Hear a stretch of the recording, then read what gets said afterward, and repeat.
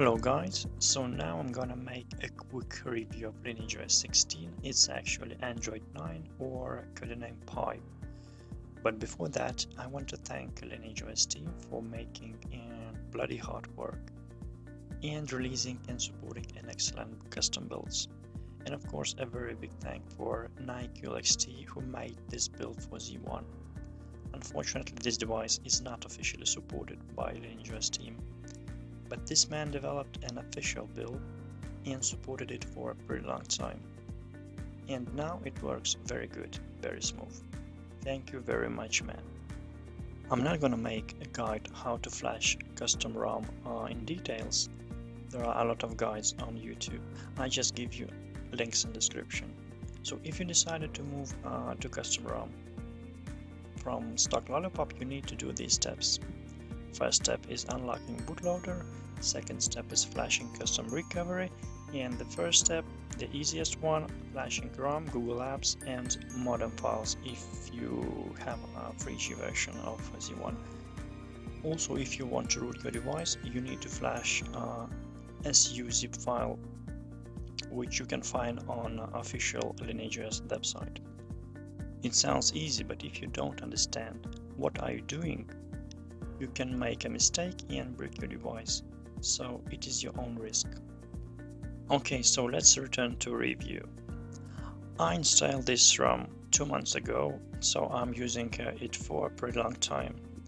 What can I say about it? Overall, it's very stable and smooth.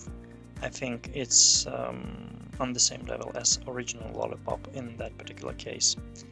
The only big drawback is that contactless payments through NFC is not working, while uh, funds transfer works fine, but payments not. So if it's very important for you, stick with a stock lollipop. The rest functionality works just like it should do. Now I'll show you some basic apps. YouTube works just fine, uh, it can play 1080p 60 frames per second without any stutters.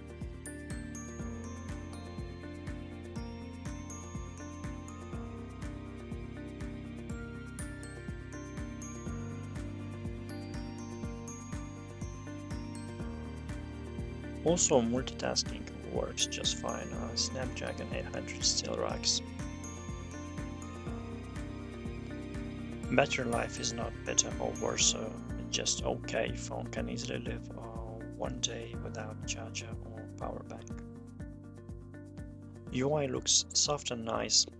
Without any tricks, it's just a pure Android and nothing more. Of course, there are a lot of customizations, but I'll skip them in this review because I don't use uh, most of them.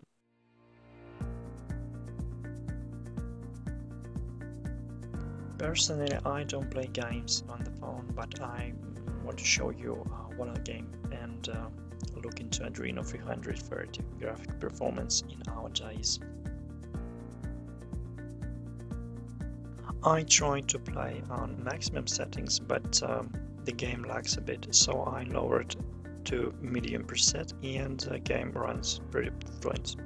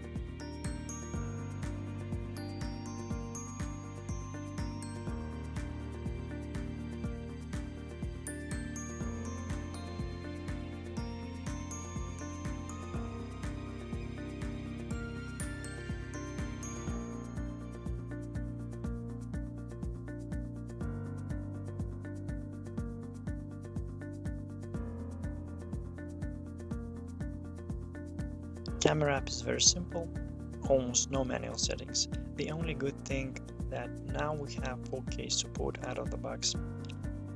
Overall, uh, camera on stock ROM was a lot better.